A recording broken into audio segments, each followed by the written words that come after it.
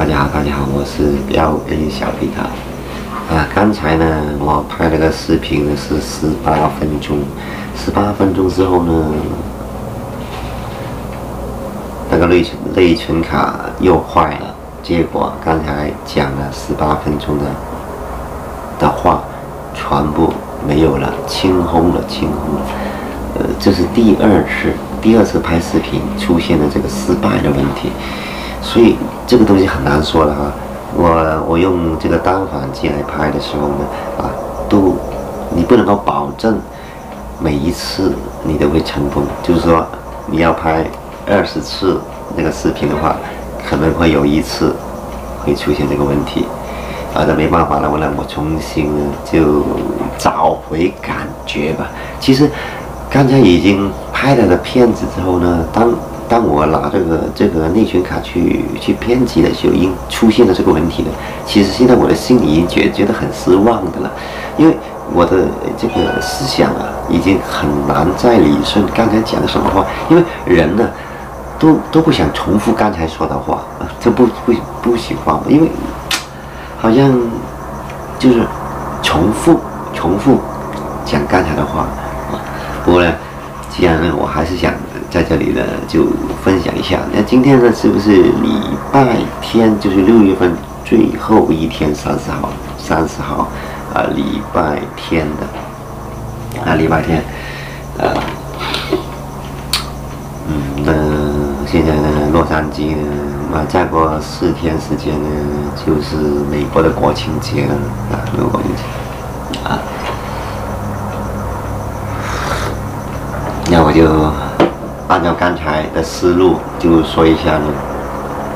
其实很多很多美国这个国家呢，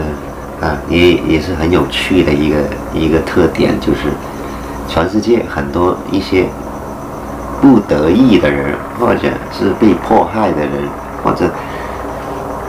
宗教方面的人，只要是他在他本国的地方呢，受到不公正的待遇呢，都可以来美国这边申请政治庇护的。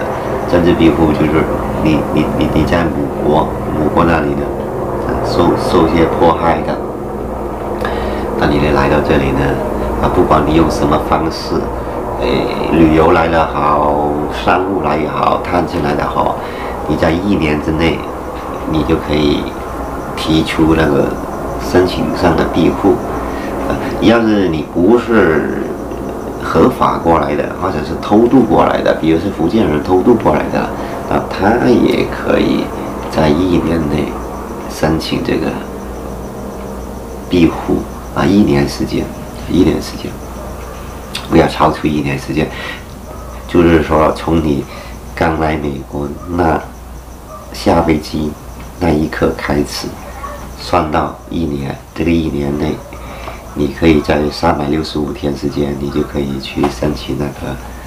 那个庇护，庇护，庇护有很多种，比如大陆的计划生育，这个也是为为为在美国的，就是这种。叫做什么？这个人权方面的哈，人权人权方面的，就是这种理念来说呢，是不能够打胎的。所以呢，你在国内呃计划生育一胎化的时候呢，你生第二胎的时候呢，呃，他要你就是不给你生孩子了啊，这个也也也够上这个美国的这个庇护。的保护对象，嗯，啊，他们都是价值观是这里不能够，所以说这里就在美国的这里哈，她要是怀了孕，让女士怀了孕之后呢，是是要生出来的，啊，不能够打的，打她是违法的，大部分州是这样，啊，大部分州，啊，这个其中一点，第二点呢就是宗教宗教庇护，比如你在很多在国内啊，你是。你你是什么基基督徒？基督徒，那国内也有基督徒啊。你说合法不合法？合法，到处都有教堂啊。但有些有有有一些呢，就聚会，就是家庭聚会，十来个人去聚会啊。这个国内是不允许的，国内是不允许的。特别你唱那些圣歌啊，影响到邻居啊，那会报警啊，警察会来的，会来会会说你不能够私下的去去做这呃这些宗教上的活动，你要去宗教的话，你要直接到教堂去，而且呢，教堂那那些呢，很多可能是，比如圣经啊，很多删节。就是国家有些给你看，有些不给你看，所以呢，它的宗教上的东西就很复杂，有有一些就不同的教派、不同的理念。那呃，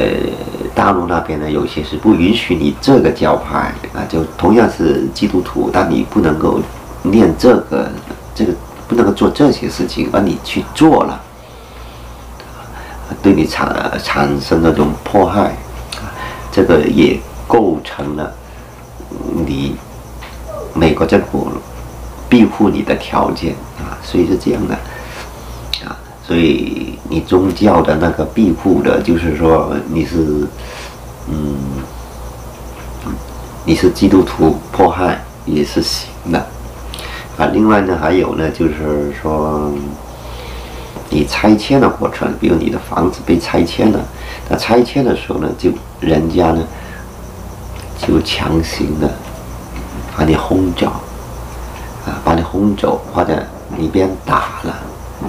或者是被啊，呃，有预谋的被被那些政府啊或者什么什么的，呃，乡村啊那些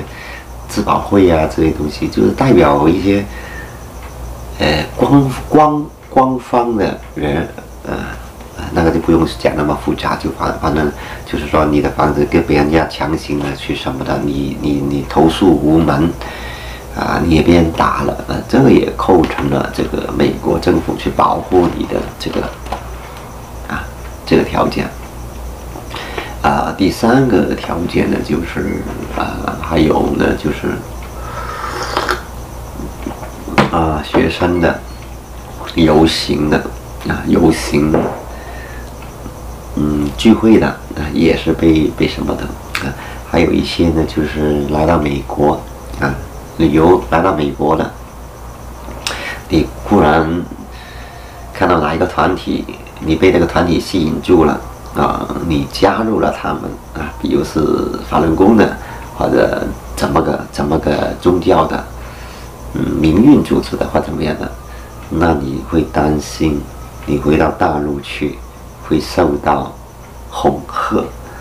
啊，这个就是说将要发生的事情，你觉得不安全？不安全，那你也可以在这里啊申请这个庇护的这个这么个一个条件在这里啊，这个就是你在国内是没被人迫害，但你来到美国之后，因为你加入了这些团体。呃因为美国是宗教自由嘛，那你可以加入什么法轮功啊，什么什么的，但这个美国是合法的。当你因为你加入了这些东西呢，那你会会恐惧，所以这个你就一定要要保留那那种有力的证据，就是说你回去会受到这些不公平的东西，那美国也会保护着你啊，就也是受保护的，那你就可以申请了。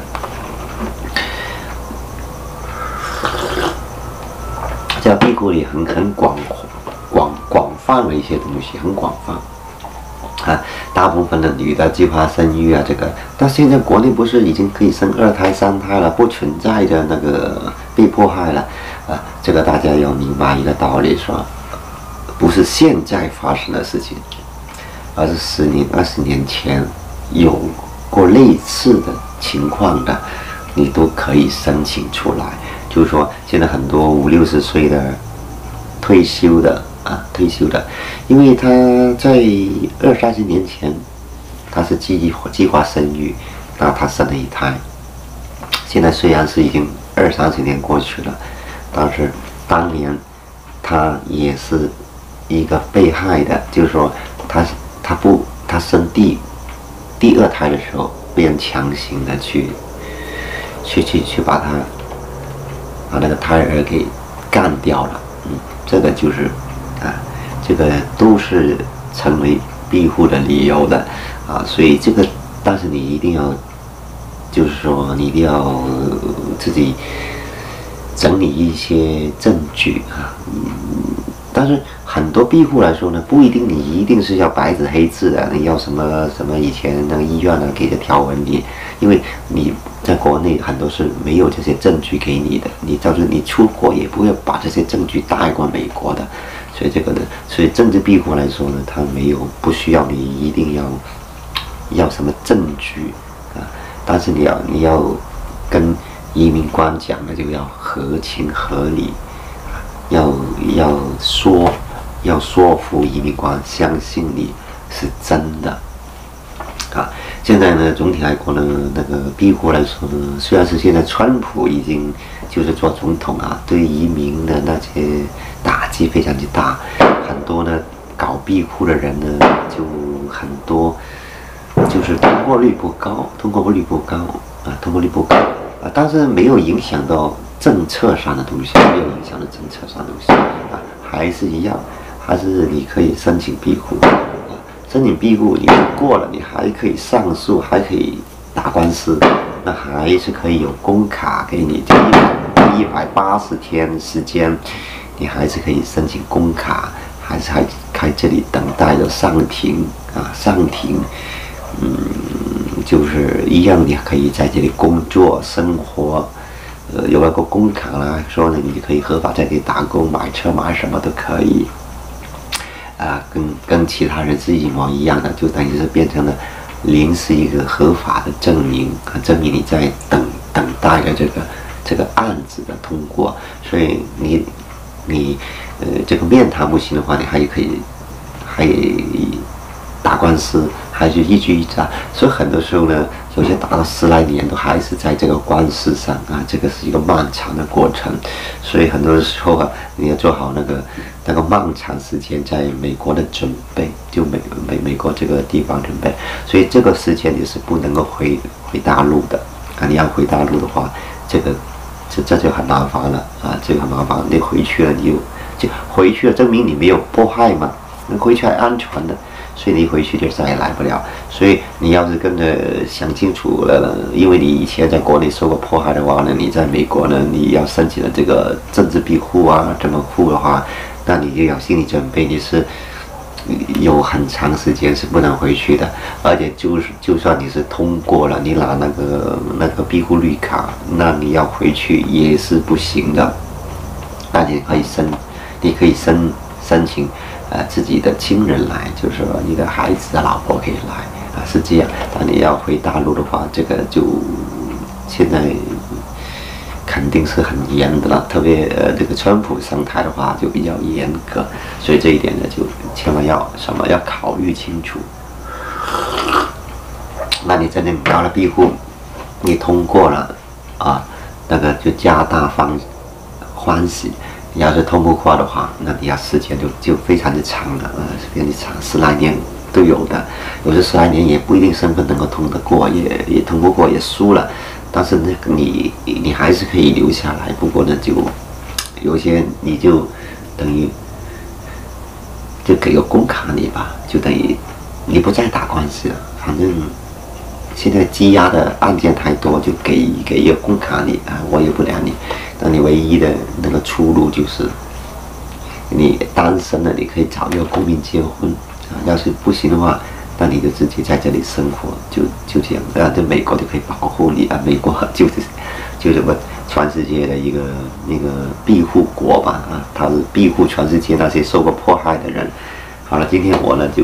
讲到这里吧。原先我讲十八分钟的时候，我讲很多的，但是今天就就就讲到这里吧啊。希望下次再跟大家。